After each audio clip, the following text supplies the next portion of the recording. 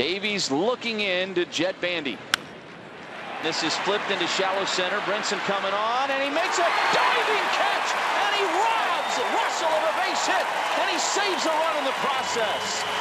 Brinson did it last night. He does it again this afternoon. What a tremendous catch by Brinson. Oh, this kid is putting on a show defensively. Sweet Lou. Lewis Brinson